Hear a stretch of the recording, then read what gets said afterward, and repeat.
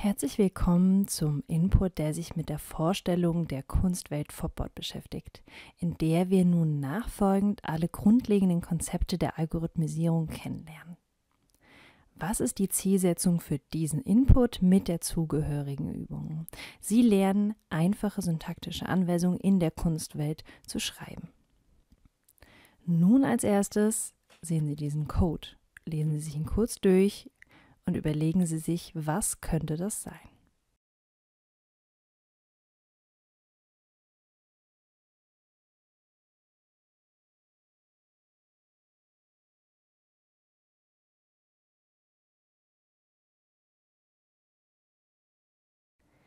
Diese drei Zeilen beschreiben, wie man beim Stricken die ersten drei Reihen eines Zopfmusters strickt.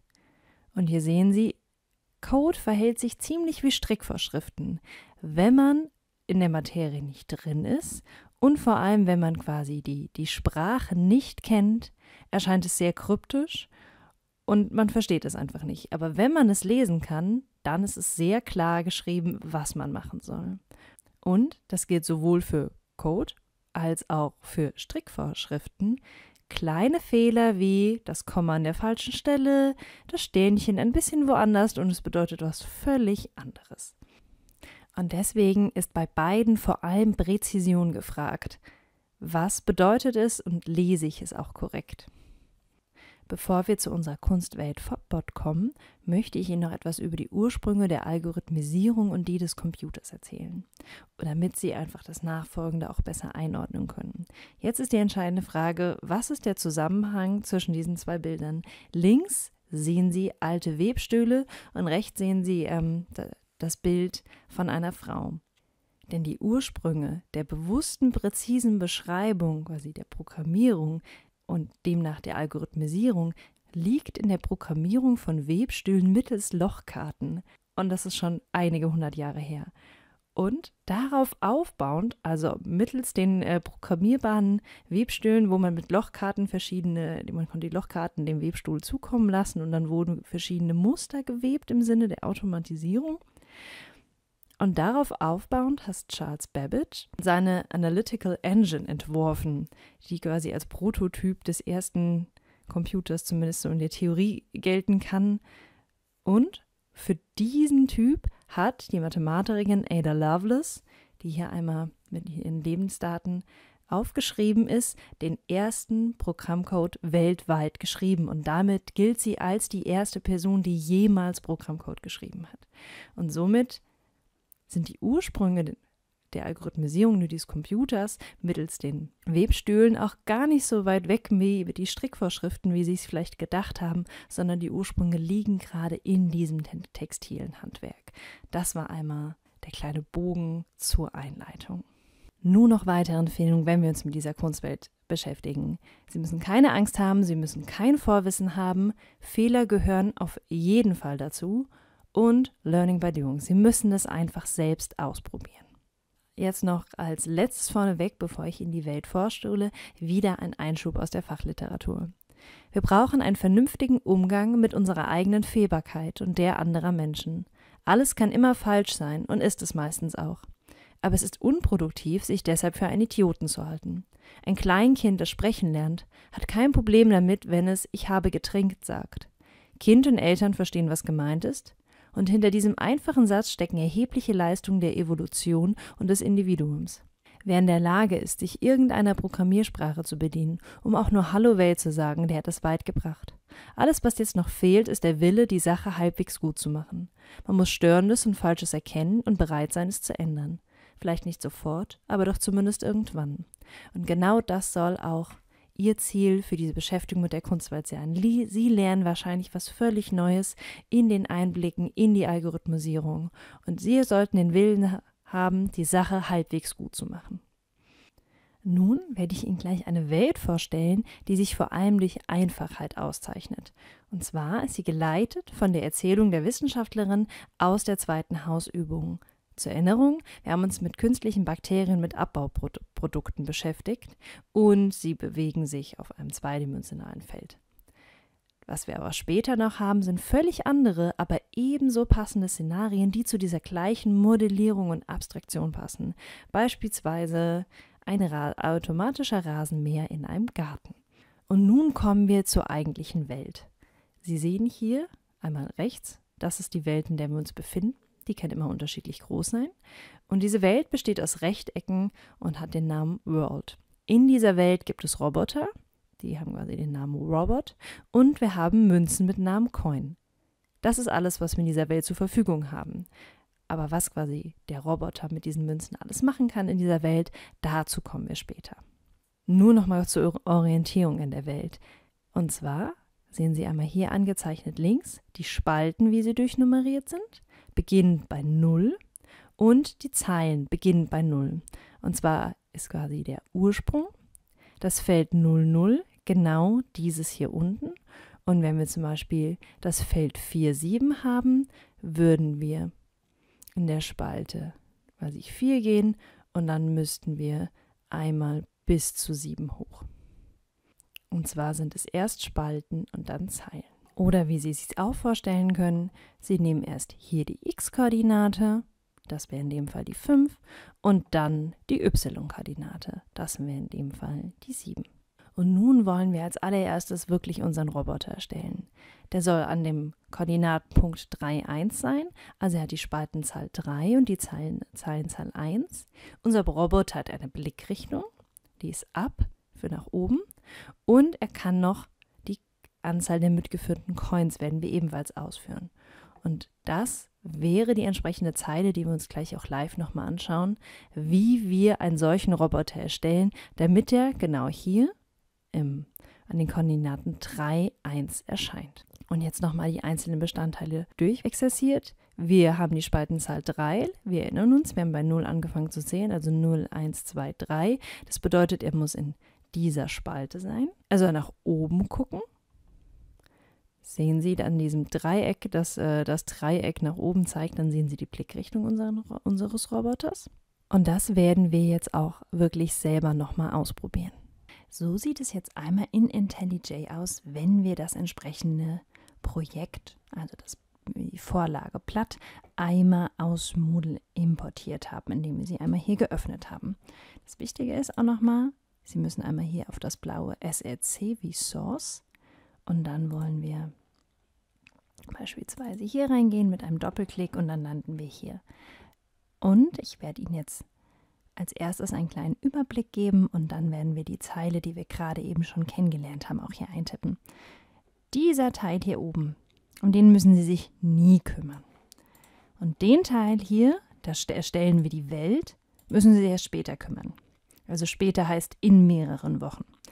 Und zwar wird einfach nur hier die Größe der Welt gesagt, wie Set Size mit Breite und Höhe, wie die Schnelligkeit, je höher die Zahl, umso langsamer wird es, dass wir die Welt auch wirklich sehen wollen und wir können auch Münzen hier reingeben.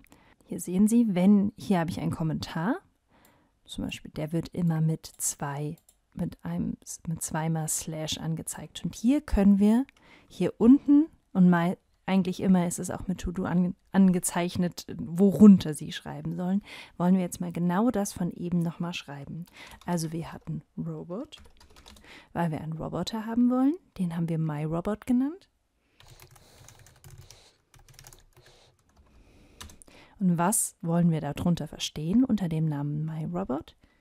Wir wollen einen neuen Roboter erstellen. Dafür tippen wir New. Und jetzt wird uns schon vorgeschlagen, was wir alles Neues erstellen können. Und wir wollen einen Roboter erstellen. Wenn Sie den ersten Vorschlag nehmen wollen, dann nehmen Sie einmal Ihre Eingabetaste. Also die große mit dem Pfeil. Wir wollen einen neuen Roboter erstellen. Und wir hatten ja gesagt, der hat die XY-Koordinaten 3, 1 und das machen wir hier mit einem Komma. Und Sie sehen schon, während ich tippe, werden schon Sachen genommen. Und jetzt wird mir auch schon das, was ich äh, hier als nächstes vorgeschlagen. Ich möchte die Koordinaten x und y haben, die Blickrichtung. Hier nehmen wir ab. Das müssen wir alles groß tippen. Hier wird es uns auch schon vorgeschlagen. Wieder ein Komma. Und dann die Anzahl der Münzen ist zu Beginn 0. Und Ganz wichtig, wir müssen am Ende noch ein Semikolon hinmachen. Jetzt nochmal die Zeile. Wir haben unseren neuen Roboter erstellt, der hat die x-Koordinate 3, die y-Koordinate 1. Er schaut nach oben und hier die Anzahl der Münzen ist 0. Hier ist es ganz angenehm, Sie sehen immer noch, was es bedeutet. Um das, was wir jetzt gemacht haben, in dieser Welt auch laufen zu lassen, können Sie einerseits hier rechts drauf gehen, wo wir gerade sind, mit einem Rechtsklick und hier den Play-Button Run nehmen. Oder Sie können einmal auf diesen Pfeil hier klicken. Dann haben wir einmal unsere Welt, die ist 10 x 10 groß. Hier unten haben wir so einen Roboter erstellt und der soll nach oben gucken. Das, was hier steht, wenn Sie Fehler haben, dann steht es hier. Zum Beispiel, wenn wir das Semikolon vergessen. Und es dann nochmal versuchen, was passiert. Jetzt steht nämlich unten, jetzt können wir nämlich sogar die Zeile, wird uns direkt die Zeile angezeigt. Und zwar steht da Semikolon expected. Also es wurde ein Semikolon erwartet und es ist keins. Deswegen funktioniert es nicht. Und jetzt funktioniert es. So ist das noch ein bisschen langweilig und damit können wir auch schwierig Sachen modellieren, weil wir könnten nur zum Beispiel Sachen erstellen, wie ein Rasenmäherroboter und ein Bakterium, die würden sich nie bewegen. Aber das wollen wir gerade und das können wir auch. Und dazu müssen wir unseren Roboter mit Namen ansprechen also My Robot. Es wird mir schon vorgeschlagen.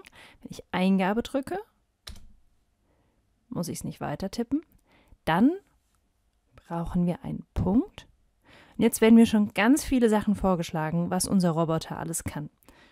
Und wir wollen einmal, dass er sich bewegt, also Move. Das wird uns, wenn ich das M eintippe, schon als nächstes vorgeschlagen. Ich betätige die Eingabetaste. Und dann wurde auch schon automatisch das Semikolon geschrieben und die offenen und diese Klammern. Was bedeuten diese Klammern? Als Vergleich, hier hatten wir auch geöffnete Klammern und da standen verschiedene Sachen drin. Und hier zum Beispiel oder auch hier oben haben wir zum Beispiel sagen, oh, die Verzögerung soll 300 sein. Wenn ich laufe, dann soll der Roboter genau einfach nur ein Feld laufen. Aber äh, ich habe zum Beispiel nicht die Auswahl, er soll jetzt drei Felder laufen in Blickrichtung und wir würden hier noch eine 3 reintragen. Aber es ist wichtig, dass da immer die Klammern sind, egal ob da was reinkommt oder nicht, die Klammern müssen stehen. Deswegen die einmal nicht vergessen. Wenn wir nämlich die Klammern weglassen würden, würde direkt hier eine rote Lampe aufkommen und sagen, hm, das kenne ich nicht.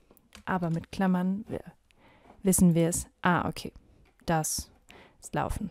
Okay, wir probieren es einmal aus. Und Sie haben es gesehen, der Roboter ist ein, Blick, ein Feld in Blickrichtung gelaufen.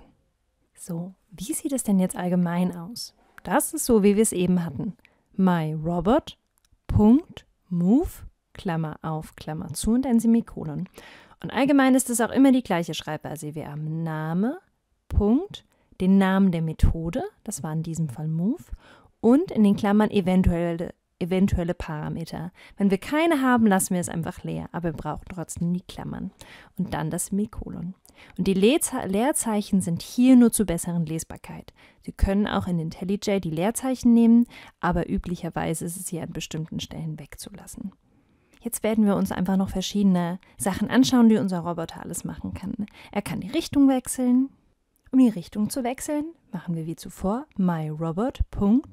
Und dann haben wir nur Turn Left. Wir haben kein Turn Right, aber das werden wir uns in ein paar Wochen selber erarbeiten.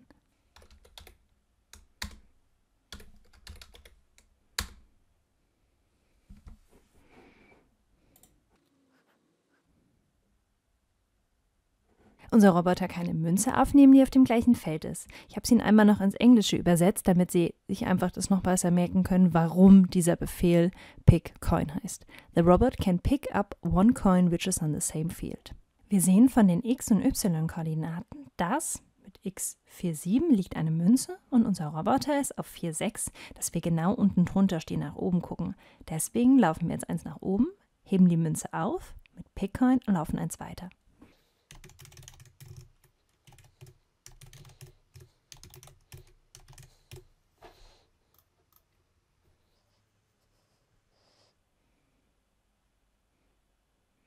Der Roboter kann eine Münze auf dem gleichen Feld ablegen. The robot can put one coin in the same field. Wir lassen den Roboter die Münze, die er gerade aufgenommen hat, wieder ablegen. Und zwar mit Putcoin.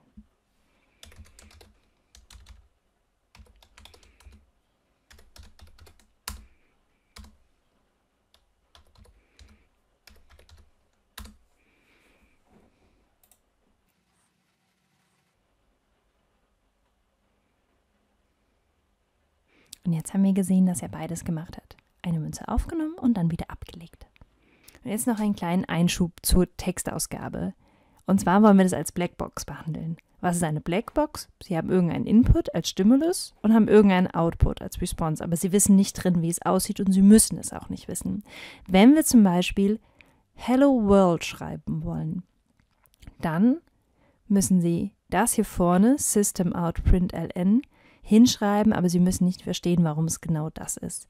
Und wenn Sie zum Beispiel etwas ausgeben wollen, schreiben Sie hier in die runden Klammer das, was Sie schreiben wollen und ein Semikolon. Das probieren wir jetzt mal aus.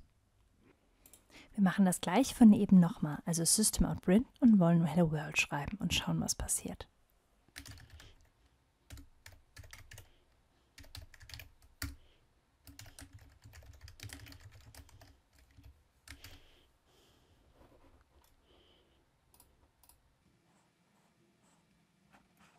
Jetzt sehen wir, wenn wir einmal das Feld auf Seite machen, das ist unser Roboter, den wir hingestellt haben. Und hier unten ist genau das, was wir hingeschrieben haben. Hello World. Hier unten wird es hingeschrieben. Jetzt wollen wir uns mal die x-Koordinate ausgeben lassen. Und zwar einmal davor, nachdem der Roboter gelaufen ist. Das, was wir eben mit Hello World quasi fix hatten, wollen wir jetzt die x-Koordinate haben, damit wir unten bei der Ausgabe auch wissen, was wir uns haben ausgeben lassen. Also, ist zu viel wollen wir my robot hat x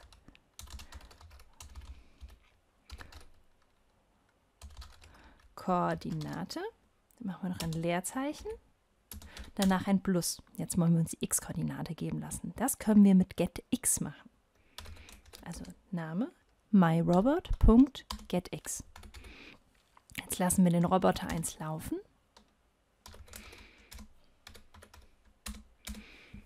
Kopieren das gleiche nochmal.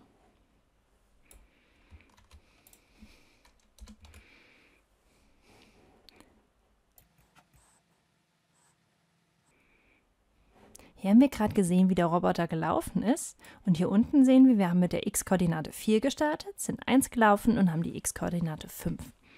Und jetzt sehen Sie auch, warum ich äh, explizit in diesem Text nach Koordinate ein Leerzeichen gemacht hätte, sonst wäre die 4 direkt an der 5 dran. Und wenn wir uns nur 4 und 5 ausgeben und später nochmal anschauen, wissen wir vielleicht gar nicht mehr, was wir machen wollten. Und dafür sind genau hier diese festen Textbausteine notwendig. Und Sie können natürlich auch hier mit Plus noch viel mehr machen. Also Sie hätten auch mein Robot hat x-Koordinate, dann die 5 und Plus und noch einen weiteren Text. Das ist auch möglich. Wir können unseren Roboter fragen, wie viele Münzen er hat. Und mit System Out uns auch noch anzeigen lassen, wie viele Münzen er hat. Wir können den Roboter fragen, ob er Münzen dabei hat. Und als Abschluss jetzt noch quasi die Konvention für Bezeichner. Also das erste Zeichen darf keine Ziffer sein. Wenn ich First Robot irgendwie abkürzen will mit 1ST, dann ist das nicht richtig. Es funktioniert nicht. Die Namen von Variablen, also die die Namen, die wir zum Beispiel in unserem Roboter geben, die Methoden, die wir aufrufen, die beginnen immer mit einem kleinen Buchstaben. Die Namen von Klassen, das ist zum Beispiel bei uns Robot und Coins, die beginnen mit einem Großbuchstaben. Und wir wollen ja manchmal längere Sachen schreiben wie Has any coins und dann nehmen wir jeden Wortanfang im Innern wieder mit einem Großbuchstaben. Und ganz am Schluss, wenn Sie sich Kommentare schreiben wollen, ähm, dann können Sie das wie folgt tun. Wenn zum Beispiel quasi einen kleinen Kommentar würden Sie mit Slash schreiben und einen längeren Kommentar würden Sie wie folgt schreiben. Hier nochmal für Sie zum Nachschlagen. Was ist der Zweck von Kommentaren? Es soll für Menschen besser verständlich sein. Oder auch wenn Sie zum Beispiel Ihre Hausaufgabe über mehrere Tage beiten, dass Sie schon Ihre Ideen runterschreiben, dass Sie sich nicht vergessen oder vergessen, was habe ich eigentlich gemacht und warum habe ich mir das gedacht. Hier auch nochmal ein Ausschnitt aus der Fachliteratur. Good comments don't repeat the code or explain it, they clarify its intent. Comments should explain at a higher level of abstraction than the code what you're trying to do. Deswegen steht hier auch schlechtes Beispiel. Wir erhöhen, hier würden wir zum Beispiel, da kommen wir beim nächsten Input zu, hier würden wir quasi den Wert der Variable erhöhen. Und das steht hier auch genau nochmal. Sondern man würde irgendwie quasi auf den Kontext passen, einen anderen, ein anderes Beispiel. Aber hier geht es nur darum, dass Sie das zweimal mit dem Slash sehen.